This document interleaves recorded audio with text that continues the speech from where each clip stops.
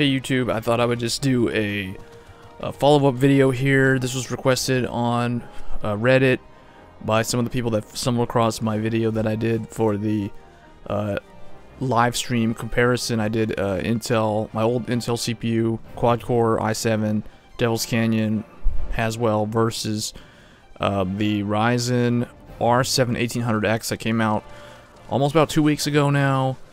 Um, so I upgraded to the Ryzen, so I thought, you know what, the reason why I want this is because I want a CPU that can handle a much better compression X264 setting for live streams so I can easily build up my Twitch channel without having to use such a high bit rate so I can get a lot of people that watch me on mobile devices like smartphones, tablets, you know, stuff like the Surface Pro, uh, like consoles, stuff like that. And they don't have, or even people who don't have a lot of like internet, high upload, high download speeds. Well, I guess if you're a viewer, you're, it's the download speed that counts. Um, but I wanted to see like is it how what is Ryzen actually capable of? So someone on the Reddit post saw my medium preset comparison that I did, uh, and they wanted to see what slow would look like. So I took it a step further. I actually went and did slower. At first, I started out with slow, and I, and I, I took like a one pass test, and I looked at what it looked like, and I could tell there's no frames dropping. Uh, average CPU utilization while uh, playing a game like this one here, Final Fantasy, and live streaming it or encoding it rather in X264. At the slow preset, I'm seeing a maximum utilization of around 65% across all 16 threads. Actually, it's more like 14 threads, and then the last two, so that last core uh, in the second CCX is kind of kind of hanging out and doing some stuff randomly.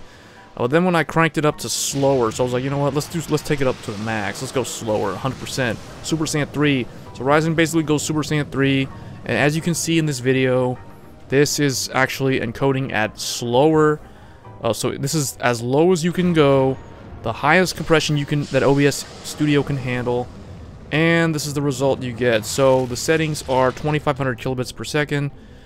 Uh, we are using Lanczos filtering. We're downscaling to 720p. Uh, the game is running natively at 1080p. You can see there it's on a standard laptop 1080p. Standard laptop because we want to eliminate any GPU bottleneck. So we want to make the CPU be the one that is basically the central point here where everything is leveraging that horsepower. Um, so as you can see, it's it's for the most part it's smooth, um, and I think if you're an aspiring live streamer, I think something like the R7 1700 is sufficient. I think it would be able to do the same thing that the 1800X is capable of doing here. Um, and plus you can overclock it in the future. Now keep in mind that this video footage was recorded while the 1800X is running at stock. And when I was checking the speed, while encoding at the slower preset, it only handles, it only goes up to 3.6 gigahertz, so it runs at its base clock. It's not able to turbo up. XFR can't really kick in because all the threads are loaded. So at slower preset, you're looking at every single 16 of those threads, all 16 threads from Windows 10 are actually doing work and the average CPU utilization that I've seen on slower is anywhere from 56 to about 74%, uh, with some extreme cases where I am seeing it actually go to 97%. I think the highest I saw was 97%, and then there may have been some instances where it spiked to 100. And when it did that, there were frame drops. So if you look, if you examine the video closely, you will see there are, I think I counted maybe two or three instances where I did actually see frame drops in the recorded footage. So that tells me that slower is kind of right there, borderline at the limit in terms of what a stock Ryzen 8 core can do. So it's roughly the same as the Intels because I'm pretty sure, uh, unless there's anyone out there that can correct me, but people who are streaming on Twitch that are that are not partnered are probably if they have like an X99 or an X79, they're probably not using slower preset um, because it's probably unreliable, kind of like what's shown here.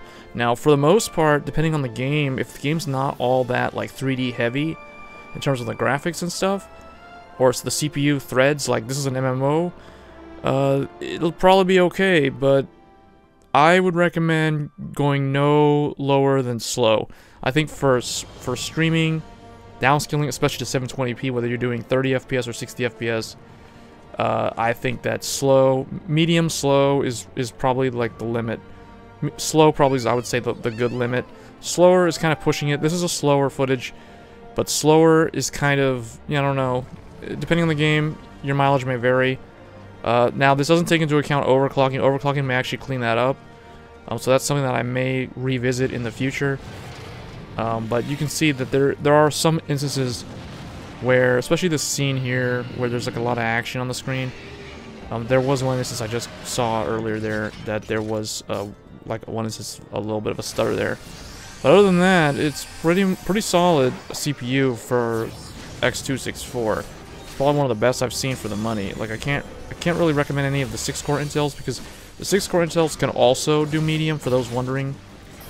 Six core like the 6800, the 6850K, those can do medium preset, so they can match Ryzen. Um, I'm not sure about slower though. I would expect maybe they can also do slow. I'm pretty sure the 6900K can do slow.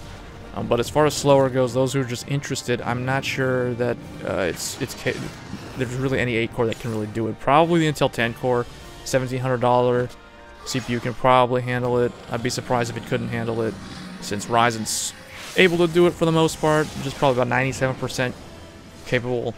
Um, but anyway, guys, that's basically what I had for this video. Uh, take it for what it's worth my recommendation is use medium or slow. Um, medium because I feel like if it's medium, you don't really need to worry. Like you don't need to go back into OBS and adjust your settings depending on the game you're playing.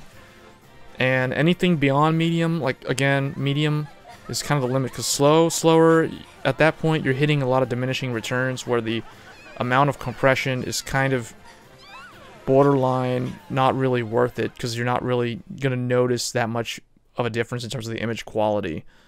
Um, so anyway, guys, hope you found this video useful or helpful for those aspiring to be a professional streamer and they're starting out because I feel like the Ryzen CPU is definitely an enabler or a tool you can use to get where you want to be if that's where you're headed.